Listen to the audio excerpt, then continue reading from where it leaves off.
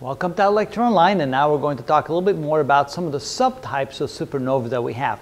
There's two main types. There are the type 1a, which are caused by the white dwarfs that are exploding, and the type 2, which is the supermassive red giants that then explode, that have a core collapse explosion. So those are the, the only real two reasons why supernova explosions occur.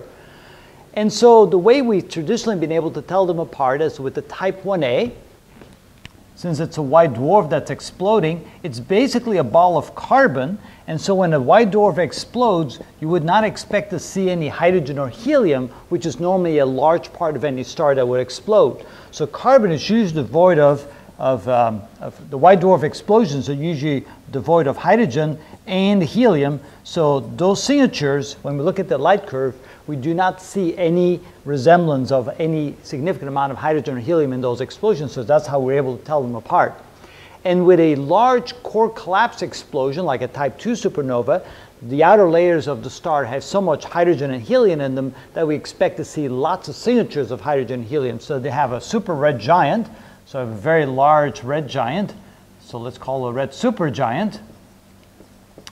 And when it explodes, there's so much hydrogen and helium contained within the outer layers of the star that when it explodes, you would expect to see those signatures. So a lot, there's a lot of hydrogen and there's a lot of helium signatures in the explosion. So those were the traditional types. But what we found was that in some cases, and especially like in the type 1b and the 1c, which we still knew were core collapse stars, there's, in the case of the 1b type, there's no hydrogen to be seen. And in the case of the 1c type, there's no hydrogen and helium to be seen. For example, the supernova that occurred in the Large Magellanic Cloud in 1987 was one of those types. It was a type 1c.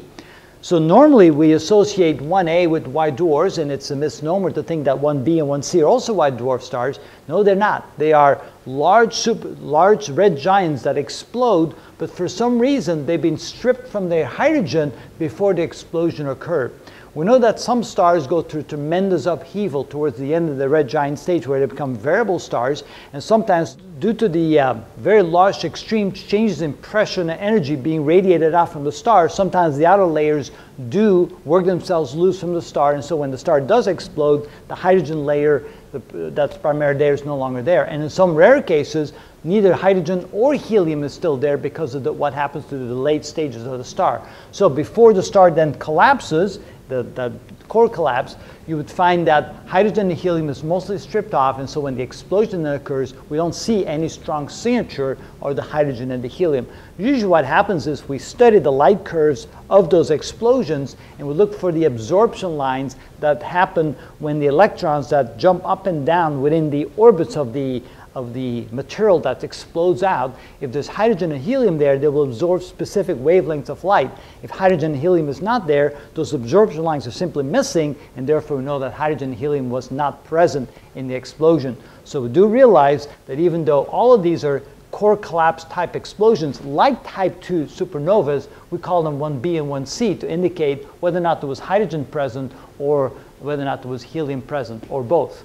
So that's how we can tell the difference. But again, even though, and there's even more subtypes than that, but to keep things simple for us, we can simply imagine that there's a type 1a and there's a type 2. And some of the type 2s may or may not have hydrogen present or helium present when they explode. And if they don't, we call them a different type, but they're basically all the type 2 like supernovas large stars, large red giants that explode when their, car, when their core fills with iron, as opposed to the type 1a, is we have a carbon remnant of a star, a white dwarf.